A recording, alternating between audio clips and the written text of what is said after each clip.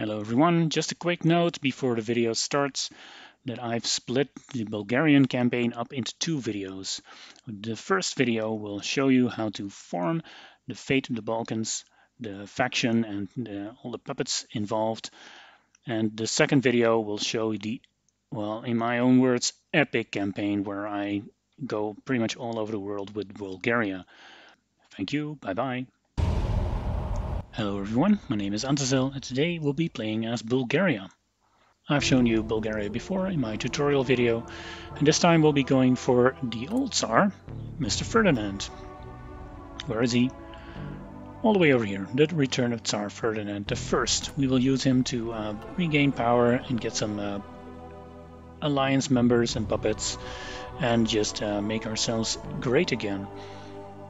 Now I've done several test runs and all of them pretty much go badly one way or the other and I've decided I'm not going to show you an RNG proof way, there isn't one. I'm just going to roll with it and show you the possibilities. Things that will go wrong invariably are um, Kingdom of Greece, they uh, can do a focus where even if they are your puppets, they can just straight out join the allies. It's this focus here, our traditional allies in the Aegean. Sometimes they flip and sometimes they don't it just uh, that's just the way it is. Same with Turkey, they can do a focus where they uh, form their own alliance or flip to the allies. It doesn't matter if they're a puppet, they just do it. Romania can flip sides. Uh, well, if they're in your faction, they usually don't, but don't be too sure. And Yugoslavia has some coveted territories that will cause the Italians or the Germans to declare war on them all of a sudden, even if you have an aggression pact. Having said that, um, there are many paths going around this. Um, yeah, for instance, you could play Bulgaria, stay independent from the big war, sign non-aggression treaties and go after the Soviets. Uh, that goes a long way until suddenly Italy declares war on Yugo and you're at war with the Axis. So what we're going to do is build up as fast as possible, take out Hungary as part of the Axis. If they join the Axis outright, so be it, then we'll be at war. If they don't, we'll guarantee Poland and join the Allies in the big fight. Once that's over, we can turn um, east and make a really, really big Bulgaria. In the meantime, uh, we'll also show you how, you know, how to get Ferdinand in power in the first place, um, get the Patriarchate, the Third Bulgarian Empire, and another brilliant focus over here, Prussia of the Balkans. So let's show off all that good stuff.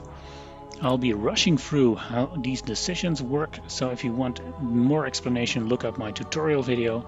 For now, I'm just going to tell you how to integrate the Sveno and destroy the Socialist, the Agrarian Union, and the National Social Movement.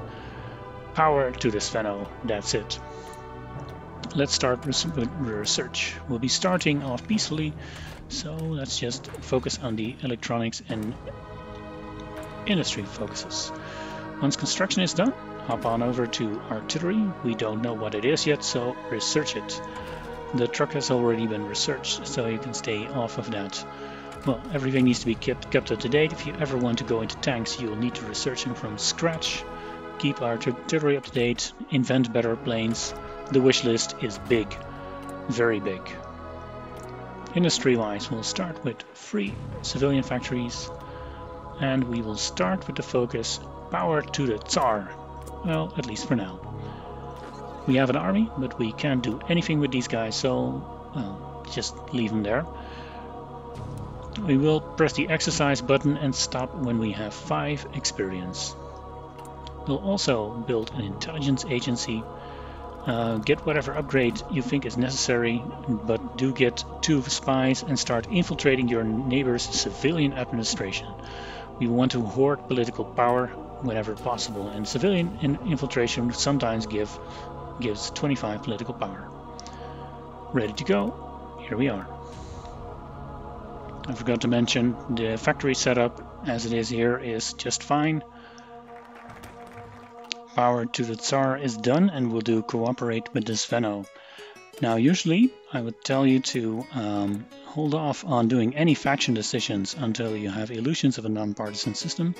This one halves the, halves the faction management costs. However, the Sveno are an, are an exception. The Sveno are uh, capable of starting a civil war if you don't integrate them fast enough. So I suggest you integrate the Sveno and do all the other stuff after Illusions of a Non-Partisan System. Cooperate with the Sveno is done and we'll do the Tsar's regime and we'll start allowing with Sveno speeches. Uh, just continue with the Sveno until they are integrated. The Tsar's regime is done and we'll do one more detour, condemn Macedonian organizations.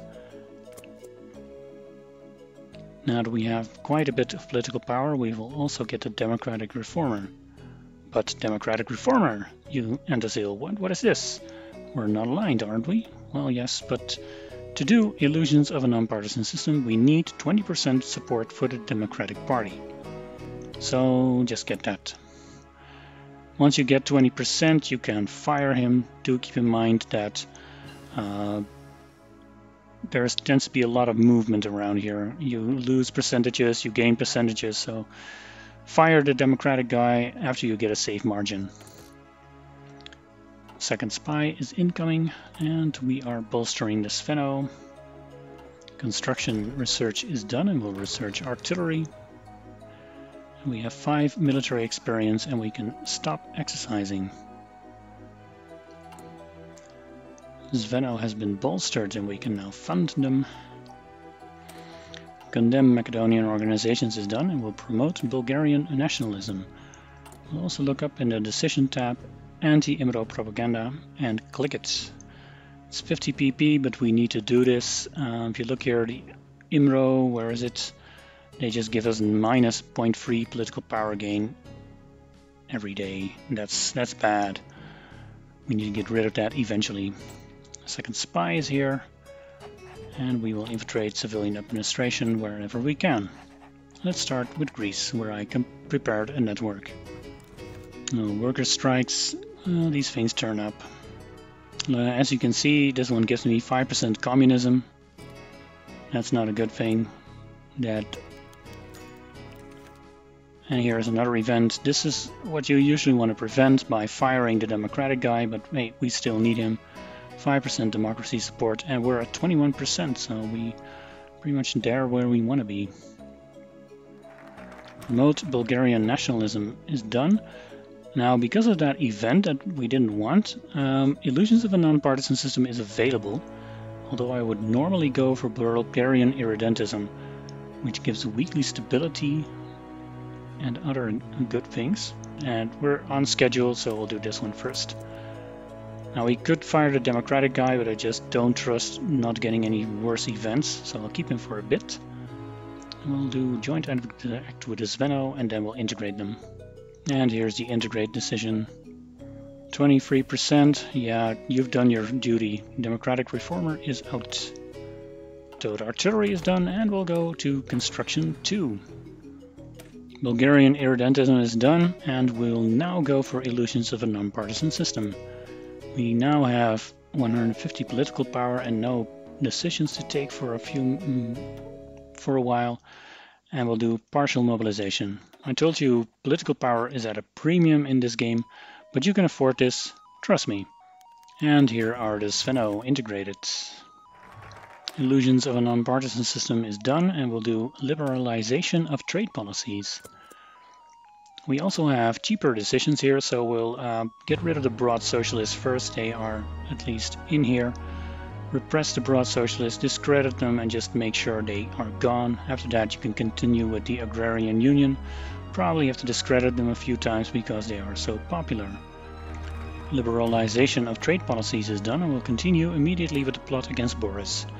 It's so sad, but for us to proceed, he has to go. Be sure to research the refining tax if you're ever going to do something with motorized or planes. Destroy broad socialists is open, let's go. The plot against Boris focus is open and will found the Brannik on a useful focus. We'll immediately go towards uh, another decisions tab here. Either brainwash political prisoners or persuade Sveno members. Uh, we still need the Sveno, and this one's cheaper anyway. Let's brainwash political prisoners to do the dirty work for us. 60 days, so it's a lot of decisions to keep an eye on. But keep an eye on it. Here's the National Social Movement event. Um, both of these give fascism support, the other one just gives you more. I want to destroy them eventually, so I'll just pick the bottom option. The stability debuff is, is unfortunate, but well, we can take it. In a previous test run, I did get, went with the other uh, way and just kept fascism around too long. Italy at some point starts boosting your fascism support, and at some point you just get more of it than you get get rid of with raids, and that's not good. Ah, here we can see the broad socialists are dead and we can repress both the National Social Movement and the Agrarian Union now.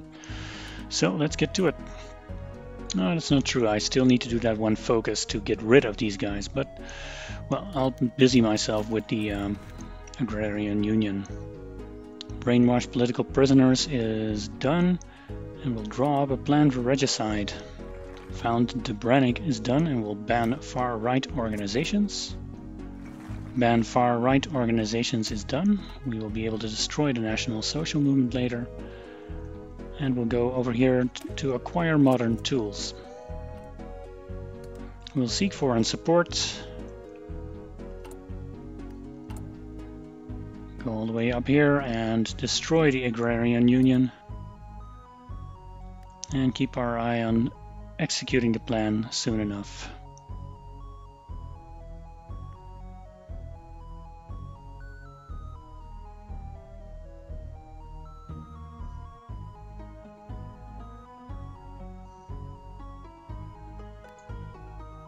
and execute plan 15 days acquire modern tools is done but we'll wait for um, the plan to succeed before we take a next focus that way we can get Ferdinand a lot faster.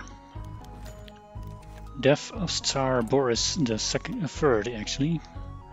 Well one man star's death is another's return. Return return of Tsar Ferdinand the first.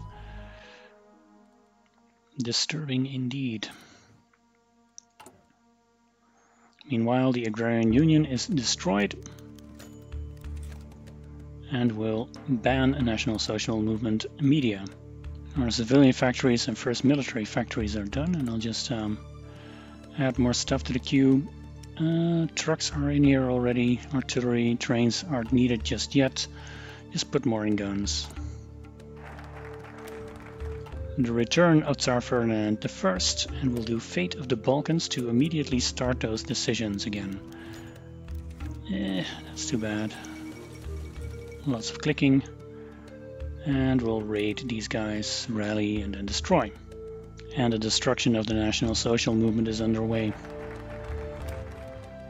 Fate of the Balkans is done. That will give us access to a lot of decisions. Again, the Fate of the Balkans decisions. This focus will give you, um, well, more time for those decisions and some weekly manpower, weekly war support, and daily support for online. That's good, so we'll take that one. Now, this last focus um, allowed us to create a faction, the Greater Bulgarian Federation. Now that we have a faction, we can refuse army restrictions. Do so immediately. This is just flipping the middle finger to the UK and saying, hey, we want to rearm ourselves. Now I said something about PP at a premium, but we will go to limited conscription. We need that PP, uh, we need that manpower. And well, we can go to our templates now and design a new template and create a mobile battalion of one cavalry, give it a slightly different icon and save it. Go to this army here and we can now flip all of these guys to the cavalry template one and save us a lot of equipment. All that freed up equipment we can now use for Persecute IMRO activists, where you need equipment and manpower and stockpile. We now suddenly have that, so click it. That's a lot of clicking. There's more. One moment please, and voila! The fate of the Balkans decisions.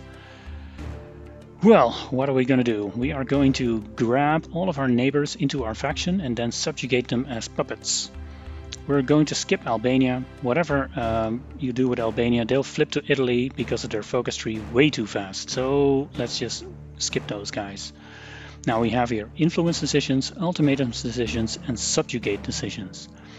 influence decisions, if you read what it says here, um, at the bottom, the Kingdom of Romania will be more inclined to submit to Bulgaria in the future.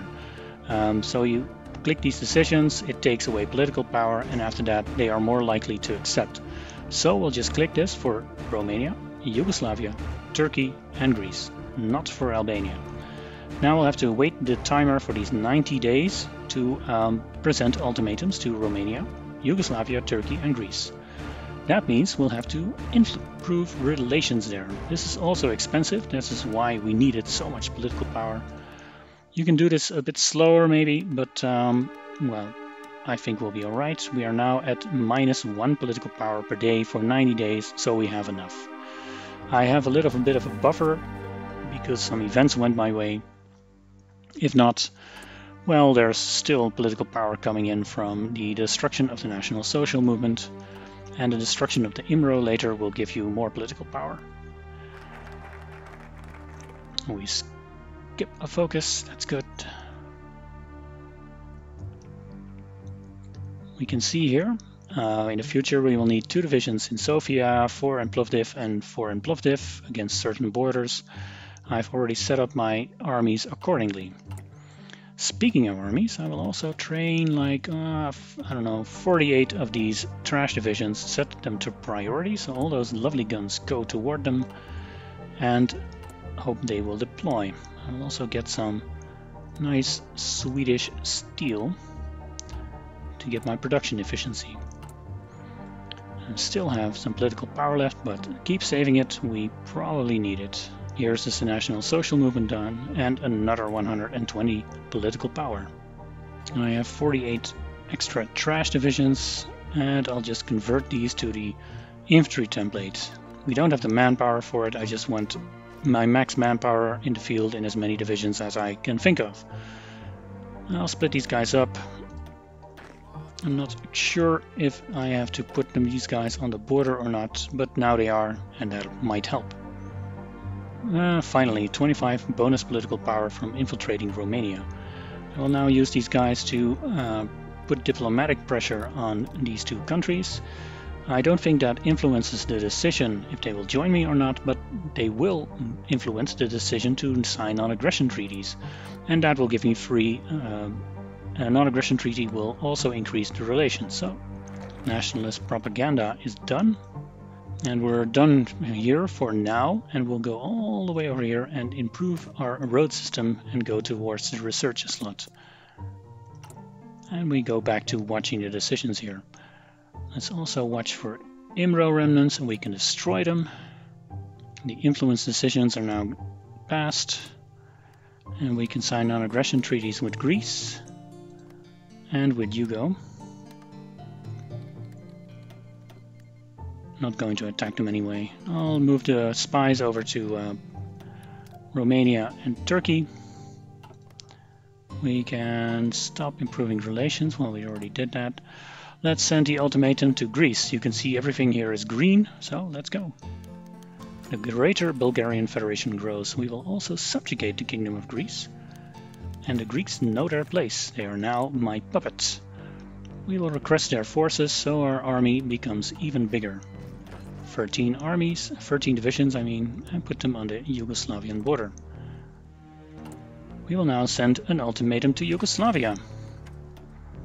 The Greater Bulgarian Federation grows and we will subjugate Yugoslavia. They also know their place. We request their forces in this conflict as well. 22 divisions. And we will add them to our own and put them on the Romanian border. You can probably guess where this is going. Now I want to have slightly better relations with Romania than this, so I'll just wait for that um, non-aggression treaty to become available. Here we are, non-aggression treaty with the Romanians. And here's one with the Turks. So let's now send an ultimatum to the Kingdom of Romania. The Greater Bulgarian Federation grows and subjugate the Romanians, they know their place. And they also have 31 divisions, which I can add to my own. I can see these alerts, but I'll finish what I started here. We'll send an ultimatum to Turkey. The Bulgarian Federation grows and subjugate Turkey. The Turks know their place. I now have four puppets in a greater Bulgarian Federation. Glorious, glorious, glorious. I will also justify a war goal on Hungary. 100 and something days, uh, what was it? 130. And we'll try to get them in our faction as well by force. Now it's entirely possible, even though they are still not aligned, that they will flip fascist and join the Axis, but I have decided that a conflict with the Axis is inevitable anyway, so we'll just get ready for it before they do. And we have a gigantic army, so I think we'll be alright. Now, we have some more factories. Our puppets are getting uh, in here. We'll start building transport planes. We'll start building some interwar fighters to get something of an air force. And this will do for now. This is at least how you form the Greater Bulgarian Federation with the max puppets. Thank you.